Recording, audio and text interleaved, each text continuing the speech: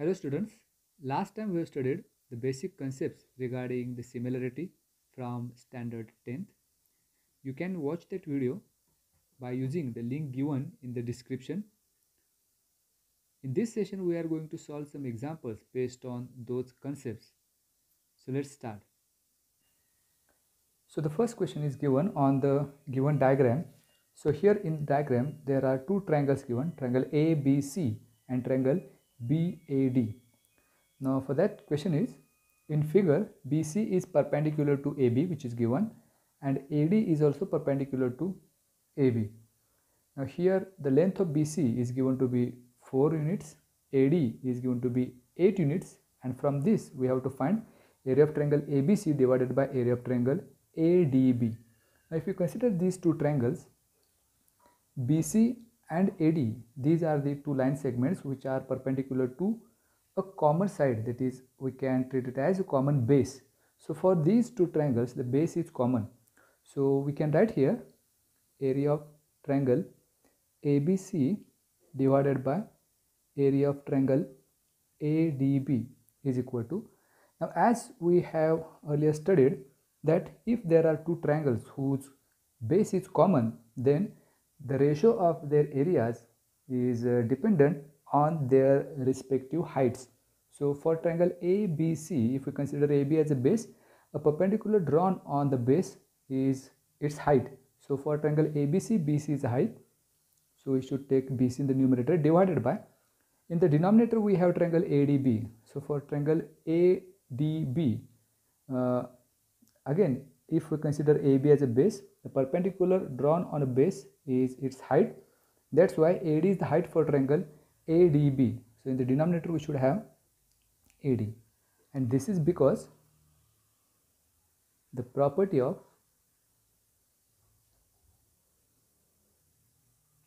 areas of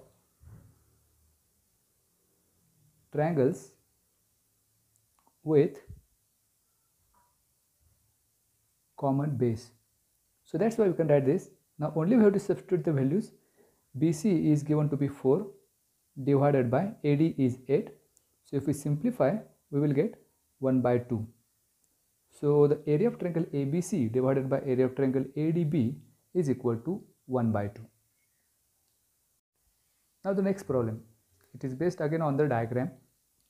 So in diagram we have uh, triangle PSR which is a right angle triangle as we can see here and the question is given here. In adjoining figure segment PS is perpendicular to segment RQ so PS is perpendicular to segment RQ which is given. And segment QT is perpendicular to segment PR QT is perpendicular to segment PR and for this one if QR is 6 so QR is given to be 6 units. PS is also 6 PR is given to be 12 and from that we have to find QT so QT we have to find this segment. So if we consider triangle PQR, so for triangle PQR, if we consider QR as a base, then for this base height will be PS as PS is perpendicular drawn on ray RS. So for triangle PQR, we can take QR as a base and PS as a height. Area of triangle PQR is equal to 1 half base into height. So which is the basic formula for triangle PQR. So area of triangle PQR is equal to 1 half into base is QR into height is PS. So if we substitute here the values that is equal to 1 half into QR is 6 into PS is also 6. So if we divide here we'll get 2 3 is 6 3 into 6 that's 18.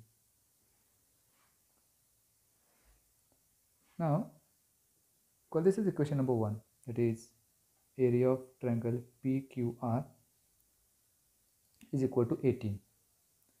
Now again if we consider the same triangle that is now area of triangle PQR is equal to. Now this time if we consider PR as a base, so the perpendicular drawn on it that is QT will be the height. So for the same triangle PQR now we have 1 half into base. Now we treat PR as its base into QT as its height. That is equal to 1 half into PR that uh, that is given to us that's 12 into qt that we have to find. So we'll take it as it is is equal to now uh, we have already found area of triangle pqr as 18 so we'll substitute here 18 so 18 into if we take one half into 12 to this side it will be 2 into 12 coming to this side it will be 1 by 12 is equal to qt now if we divide it will be 2 6 are 12 and again 6 3 is 18 so that is 3 into 1 that's 3 is equal to qt that is qt is equal to 3 so this is the length of qt now we have one problem based on basic proportionality theorem. So consider a diagram again. There is triangle pqr given. And in question we have triangle PQR in triangle PQR so segment NM is given to parallel with segment RQ PM is given to be 15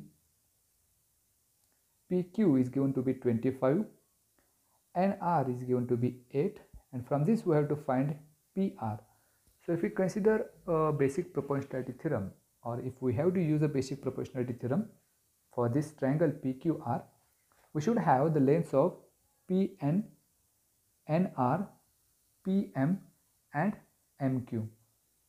So for this one, here PQ is given, PM is given, from that we can find MQ. So first we have to find the length of MQ, then only we can use the basic proportionality theorem for this question. So here we have the length PQ is equal to PM plus MQ as PMQ are collinear points. So the reason should be in bracket P dash M dash Q. So here PQ is given to be 25 is equal to PM is 15 plus MQ. So if we transfer 15 to that side it will become minus. So 25 minus 15 that's 10 is equal to MQ. It is MQ is equal to 10. Now we can use the basic proportionality theorem for triangle PQR. So the basic proportionality theorem is if in a triangle there is a line parallel to one side of a triangle then it divides the remaining two sides in the same proportion. So that's why if we use here that is in triangle PQR it is given that means NM is parallel to the one side of a triangle then according to the basic proportionality theorem line NM intersects the remaining two sides of triangle PQR in the same proportion. That means by basic proportional theorem we have Pn divided by Nr is equal to Pm divided by Mq. Pm by Mq and this is by basic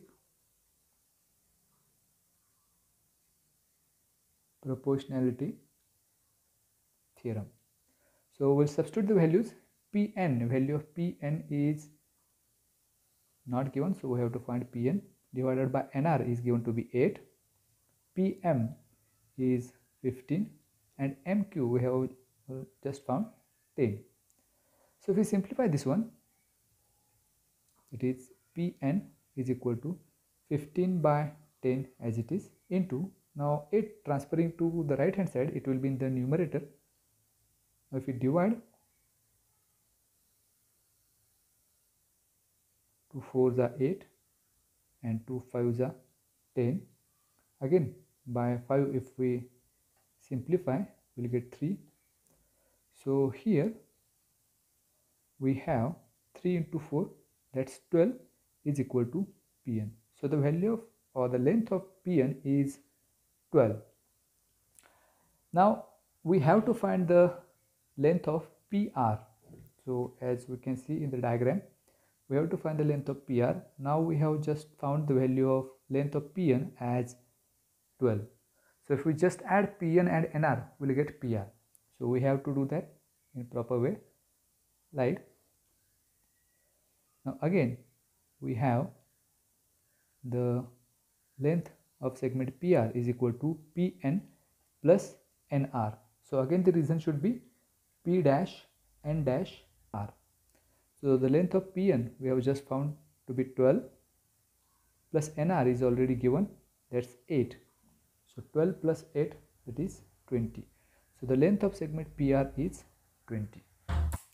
Now we'll prove one theorem that is the theorem of areas of similar triangles. So first consider the statement of the theorem.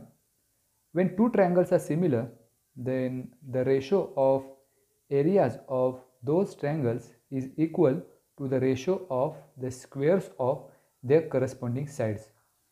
So we have to prove this theorem. So first of all we have to draw a diagram. So consider the triangle, two triangles ABC and PQR which are given to be similar. So from this we can have the given that is triangle ABC is similar to triangle PQR it's given and in triangle ABC it is given that AD is perpendicular to BC and PS is perpendicular to QR for triangle PQR.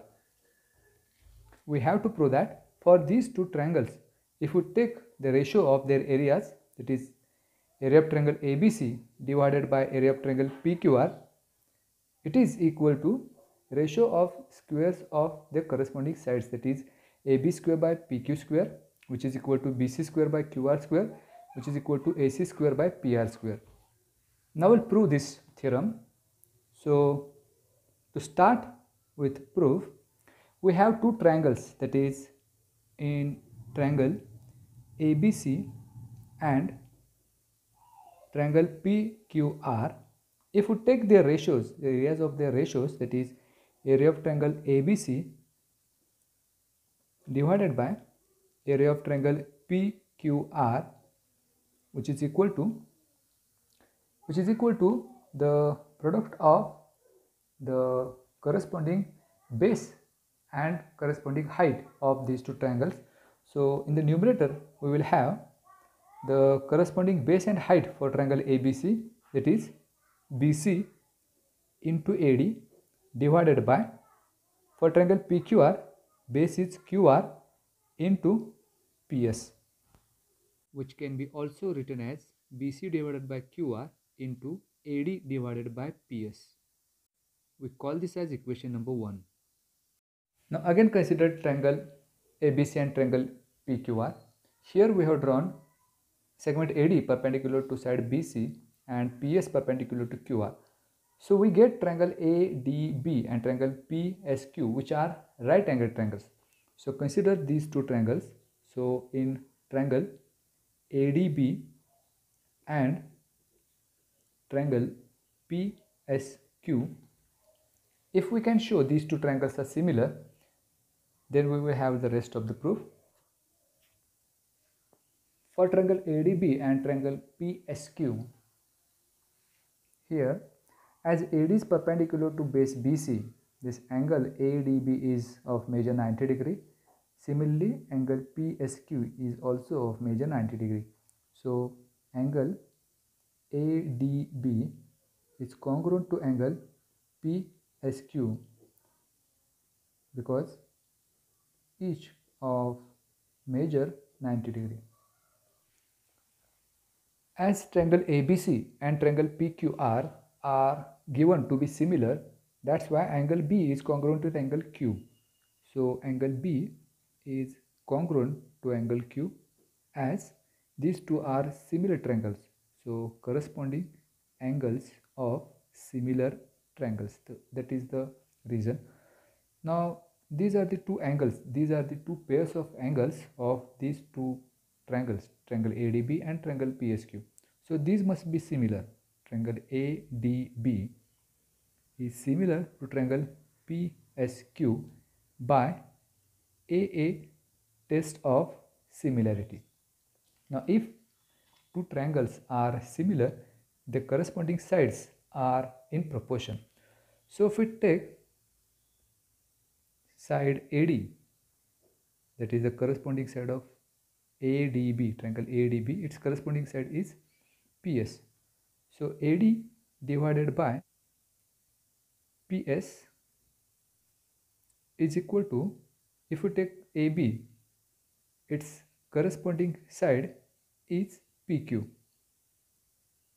And reason behind that, corresponding sides of similar triangles. So we'll call this as equation number 2. Now previously we have proved equation 1 and equation 2. So in equation 1 we have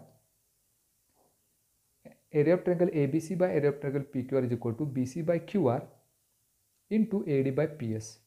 Now again in given we have triangle ABC is similar to triangle PQR which is given.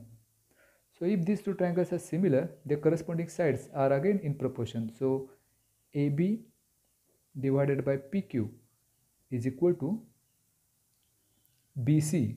If we take side BC, its corresponding side is QR. BC divided by QR. So the reason is again corresponding sides of similar triangles. Call this as equation number 3. Now consider equation number 1, 2 and 3.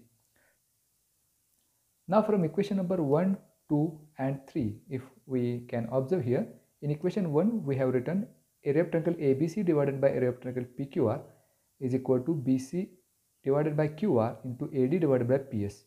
So if we write here area of triangle ABC divided by area of triangle PQR is equal to instead of BC divided by QR in equation number 3 we have AB divided by PQ.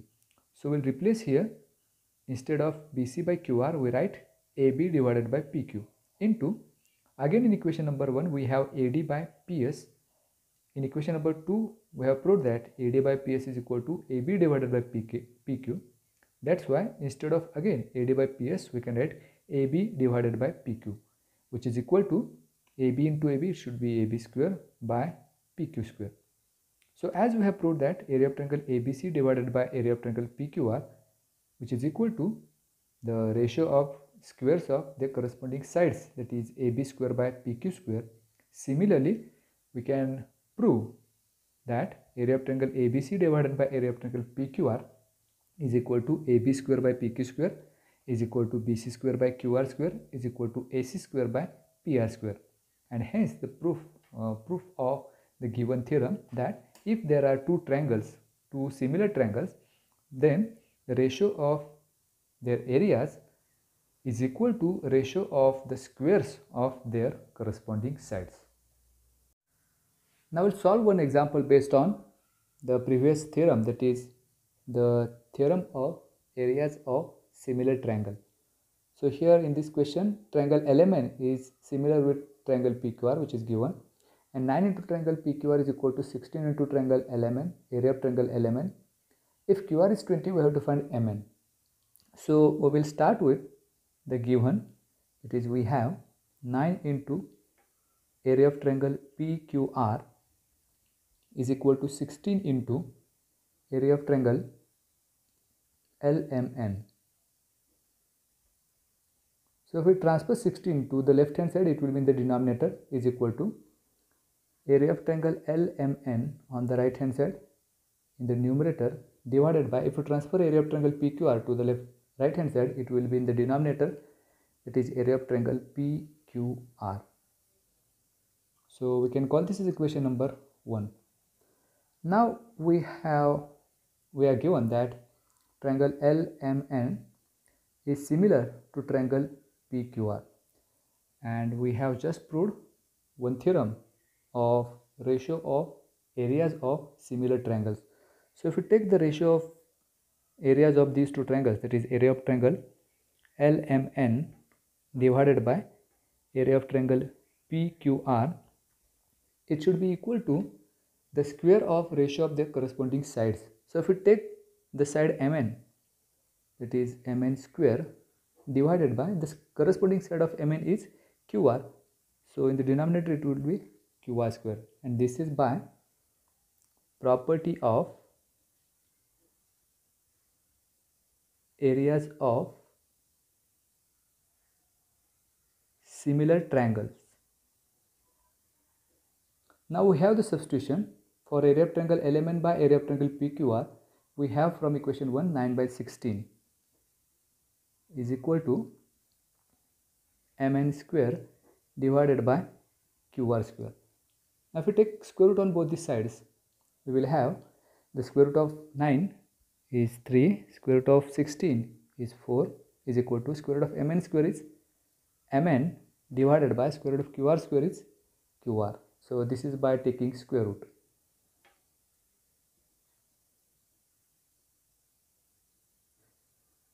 Now we have the value of qr here. So 3 by 4 is equal to mn which we have to find. So we'll take it as it is divided by qr is 20. So 3 divided by 4 into if we transfer 10, 20 to the right left hand side it will be in the numerator is equal to mn. So if we simplify here 4 ones are 4 4 5 are 20 so 5 into 3 that's 15 divided by 1 that is 15 is equal to mn that is mn is equal to 15 units. So this is the length of segment mn.